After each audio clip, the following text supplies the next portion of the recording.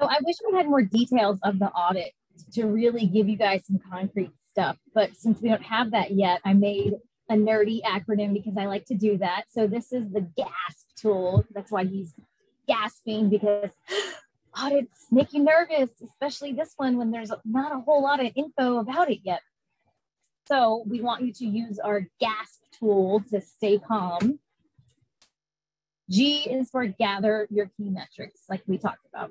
Plan the gathering, make it a habit. Don't just regurgitate your numbers, but understand what they mean to your census and how they may look in an audit.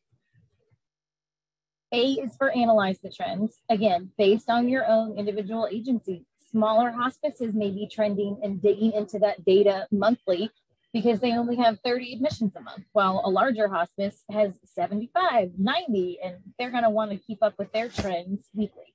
Do what makes sense for your agency. The point is just to make that trend analysis part of your functional processes. Build it into your workflow where it makes sense. And again, I've said this before, but involve your employees in that analysis and have them understand and take ownership of your key metrics too they may have an idea or just a viewpoint that you didn't even think of. I used to drive my staff crazy, but every quarter I'd make at least you know five employees sign up for a committee or an office task or come with me to give an in-service, something out of their traditional field roles. And the ones that usually got really mad at me and rolled their eyes would be the same ones that would come back and, oh my gosh, that was so fun. I loved being a part of that bigger process. So try it, get everyone involved in the process is for strategize to find solutions. Everyone's solutions will be different because not everyone has the same problems. Thank goodness, right? I hate doing the laundry. Some people love to do laundry. My problems are my problems. So the ways to resolve, reverse, or improve a trend are going to be unique for your organization.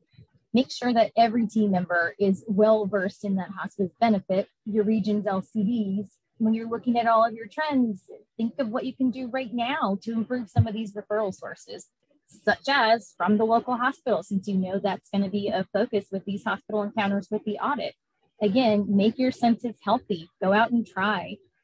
Keep educating your staff and just do what you can to over prepare them. Clearly, we push that education is the backbone of strong trends, improved data, and healthy census, but it's true, I promise. And lastly, P is for plan for your organization's future. You got to do what you can, guys. All of you who have signed up just to hear us talk about the OIG, we're watching and waiting to Use the GASP tool. Think of the little guy gasping. And more importantly, just look for opportunities to keep training your staff so everyone can be prepared. This is not going to be the only regulatory update that comes. Just try to do everything you can to stay on top of it. So gather your key metrics, analyze the trends, strategize to find solutions, and plan for your future.